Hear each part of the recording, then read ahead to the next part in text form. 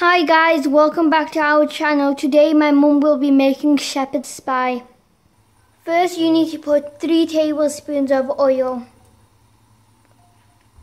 Put it on a low heat. Let the oil warm up. Now put 3 medium onions. Put it on a medium flame and stir it. Put 1.5 teaspoon of salt in.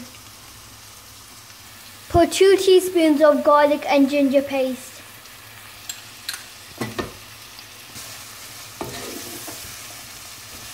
In a separate dish, boil the water for some potatoes. You can put as many potatoes as you want inside of the dish. Put 2 teaspoons of salt in.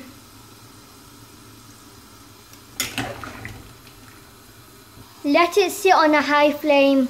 Let the onion sit for 4 minutes. Once the colour has changed, put 2 tomatoes in.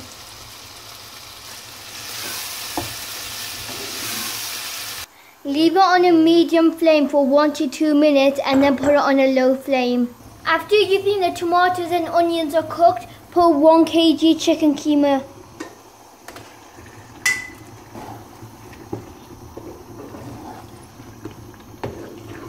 1 teaspoon of crushed chili. Half a teaspoon of coriander powder.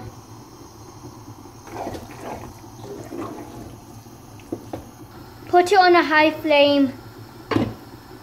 Once it has been 10 minutes, put 3 teaspoons of chili powder in.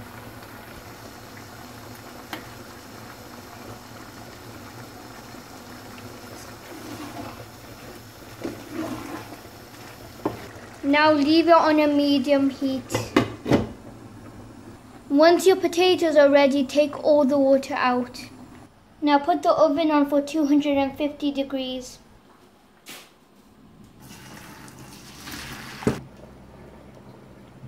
Once you have done that, put one third cup of milk in. Put two, put two tablespoons of margarine.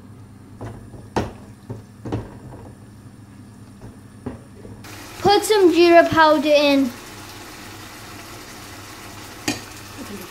Put three green chilies. And some coriander. Put it on a high flame. Once your chicken keema is cooked, put some sauce in. Cook it for five minutes. This is how your mashed potatoes should look.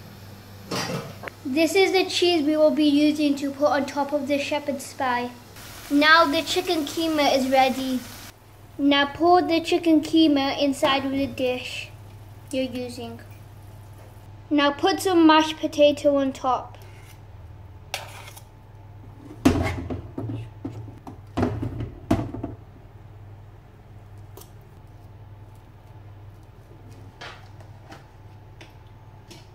Now put the cheese on.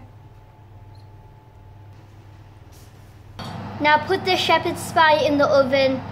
After 15 minutes, this should be the end result of the shepherd's pie.